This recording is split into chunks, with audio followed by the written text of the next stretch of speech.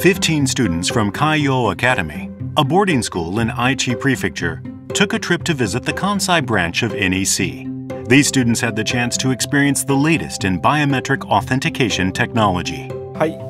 Speaking to them was Hitoshi Imaoka, an NEC fellow, who has been at the forefront of biometric authentication technology development for over 20 years.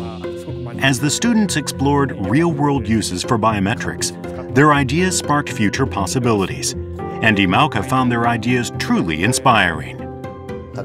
This student proposed an intriguing workplace system, using face recognition to instantly display personal details, like upcoming meetings. This student was captivated by the sheer variety of applications and methods, saying that biometrics could expand the realm of human possibilities. Biometric authentication technologies are likely to be implemented in ways that redefine what's ahead, and the session offered a glimpse into that promising future. Orchestrating a brighter world. NEC.